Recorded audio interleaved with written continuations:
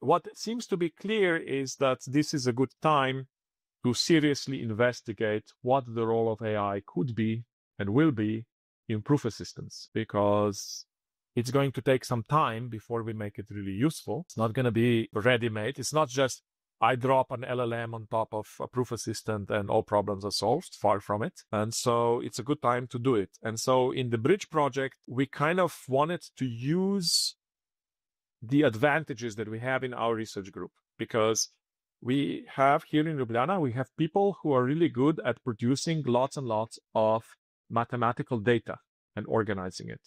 So you you know they have these large libraries of interesting mathematical objects. And it's a lot of data and it goes into gigabytes easily.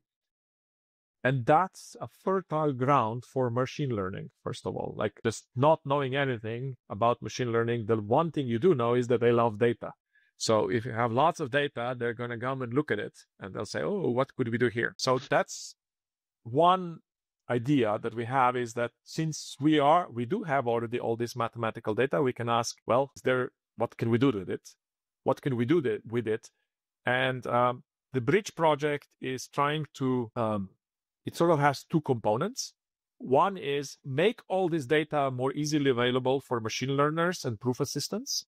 By the way, it's also useful for proof assistants for certain kinds of tactics like quick check.